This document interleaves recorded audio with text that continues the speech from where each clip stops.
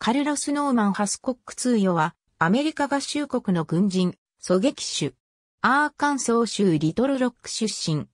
ベトナム戦争で活躍したアメリカ海兵隊の狙撃兵の中でも最も著名な狙撃の名手。ホワイトフェザーの異名で知られる。近代アメリカの軍事、警察組織における狙撃手の育成、運用についてのメソッドに大きな影響を与えた。シルバースター、パープルハート賞を受賞。最終階級は一等軍曹。1959年10月、アメリカ合衆国海兵隊に当時17歳で入隊。これは、ハスコックの少年の頃からの夢だったという。入隊後、狙撃手の適性を見出されて、ペンドルトン基地で、その訓練を受けた後、ハワイ基地の第4海兵師団、第2大隊、E 中隊に配属。その後も、各地の基地を転々としながら狙撃手としての能力を高めていった。この時期に、すでに海兵隊の規定する狙撃訓練課題の一つである A コースで250ポイント中248ポイントという現在も破られていない記録を残し、その腕前を知られるようになっていった。1965年、ハスコックはペリー基地で行われたウィンブルドンカップに参加し、23歳のハスコックは全米から集まった約3000人もの名手たちの頂点に立つ。その同年、ハスコックは戦争の長期化したベトナムへと旅立った。ハスコックはベトナムに到着後、前線から離れた中来に MP として配属されていたが、新任の第一海兵士団長、ハーマン・ニッカーソン・ジュニア、少将から狙撃兵養成の命を受けたジムランド隊員が新規に創設するスナイパースクールの教官として選抜される。自ら得た実践経験をフィードバックさせたいというランド隊員の意向のもと、ハスコックは彼と同様各地の海兵隊から選抜されたウィルソン軍曹、ロバーツ軍曹、ドンダイン機千人護長らと共にランド隊員をリーダーとする狙撃チームとして当時の海兵隊の最前線の一つだった第55高地での狙撃を主とした実戦に参加することとなった。ベトナム兵からの狙撃に悩まされていた第55高地に配属されたハスコックは実戦においてもその能力を発揮し、北ベトナム軍のあるフランス人主導将校の狙撃に成功するなどして、精鋭揃いとされる海兵隊の中で狙撃の名手として知られるようになっていった。ハスコックら狙撃チームの活躍は大きな効果を上げ、第55高地一帯での米軍兵の狙撃による被害は1日20から30件から週に1、2件まで激減したとされる。また、この時期にランド隊員がハスコックらと共に策定した狙撃兵教育プログラムにおいて用いられた概念が現在もアメリカ海兵隊の狙撃手の標語として残るワンショット、ワンキルである。ハスコックは愛用の迷彩用帽子に目印として白い羽を止めており、これがベトナムでの彼の異名、白い羽毛の選手の由来となった。白い羽は一般にチキンの証として知られ、ハスコックもスナイパーの任務に必要な性質の一つが、臆病なまでの慎重さであると皮肉って、これを目印にしたと考えられるが、ベトナム軍にとって白い羽は紛れもなく恐怖の象徴となったのである。ハスコックがこの羽を帽子から外したのはただ一度、彼のベトナムでの最初の従軍期間における最後の任務となった北ベトナム軍のある将軍を狙撃した時のみである。彼はその作戦において、北ベトナム軍の厳重な警戒下にあるジャングルを、北腹前進を3日間繰り返しながら合計 1km 以上の距離を移動し、635メートルの距離まで敵の司令部に接近して将軍を狙撃、任務を果たした。この任務の際、ハスコックは3日間で小さな水筒の水のみを口にし、糞尿はすべてズボンの中に垂れ流し、ほふ前進の繰り返しと虫刺されで全身水ぶくれになっていたとされる。この任務は当時国費扱いだったため、ハスコックは一切の報奨を得ることもできなかった。ハスコックの狙撃を恐れた北ベトナム軍は3万 US ドルという破格の賞金をかけてハスコックを狙ったが、彼の狙撃を止めることはできなかった。ハスコックはベトナムを去るまでに公式記録上で93名の北ベトナム兵を射殺したとされているが、ベトナム軍制圧地域に潜入してのゲリラ戦のため、未確認戦果が非常に多く、推定では合計300名以上を射殺していると考えられている。北ベトナム軍はハスコックらに対抗すべく第55高地に12名もの狙撃手を送り込んだ。その中の一人、北ベトナム軍の謀略放送で、コブラと呼ばれていたスナイパーとの戦闘は、通称キャットマウスと呼ばれ、フィクションの世界に多くのフォロワーを残し、ドキュメンタリー番組の研究対象となった。ある任務で、ハスコックと観測手のジョン・バーク五条は北ベトナム軍の将校を800ヤードの距離から仕留めた人に、目に光が入ったことに気づいた。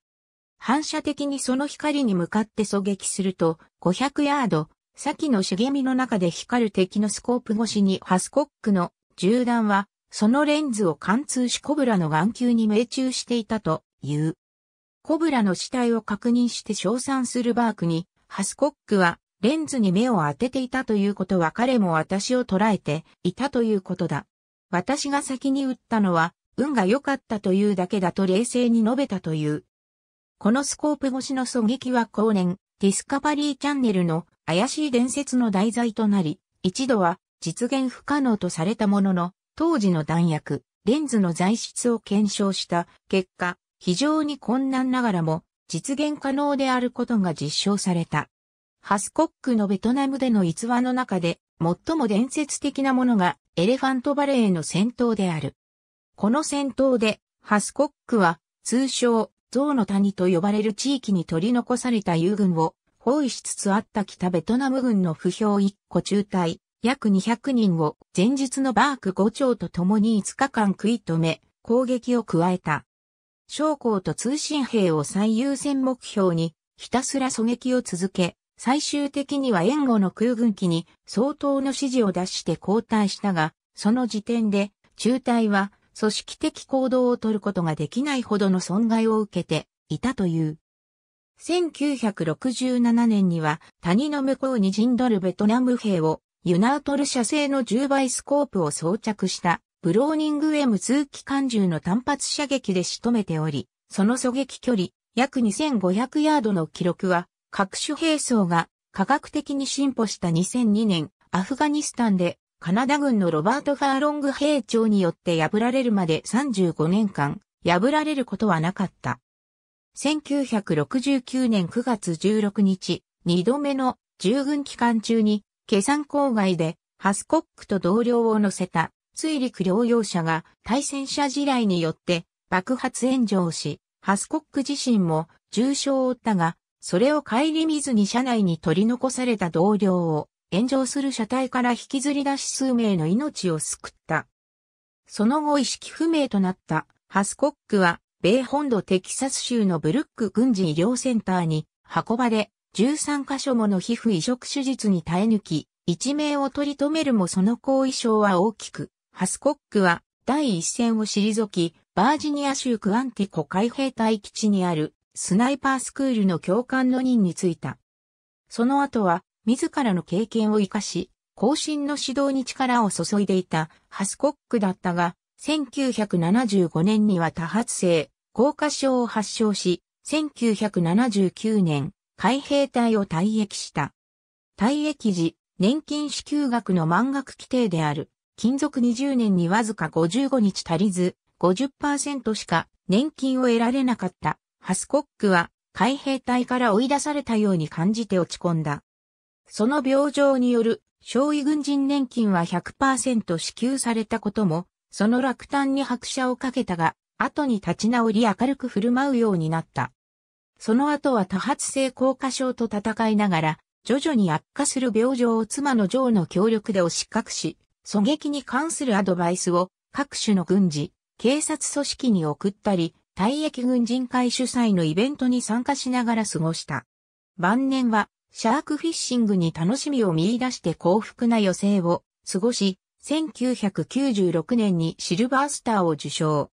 1999年、父と同じく海兵隊の道を選んだ息子、カルロス・ノーマン・ハスコック・スリーら家族に看取られながら、バージニア州バージニアビーチで56年の生涯を終えた。ベトナム戦争においてハスコックが狙撃した人数は93名であるが、これは陸軍のアデルバート・ F・ ウォルドロン、同じアメリカ海兵隊のチャールズ・ビー・マウィニー、エリック・イー・イングランドに次ぐ第4位に位置する。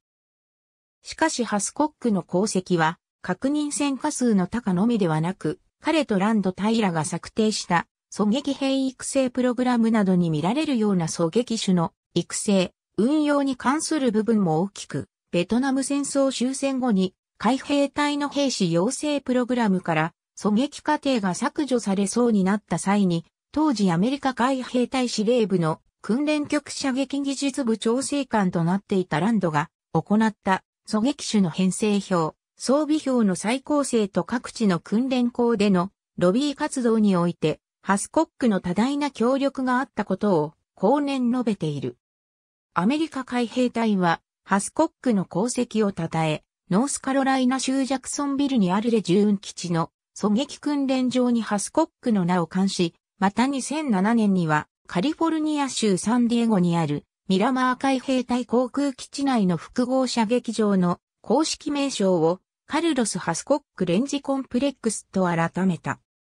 後にハスコックは著書において、自らの軍歴について、私は射撃が好きだし、狩猟を愛している。しかし、殺しを楽しんだことはどんな相手だろうと一度もない。それは私の仕事だった。もし私が敵を仕留めなければ、彼らは私の後ろにいる。我々が海兵隊の格好をさせていたたくさんの子供たちを殺していただろう。私に選択の余地はなかったと述べている。ありがとうございます。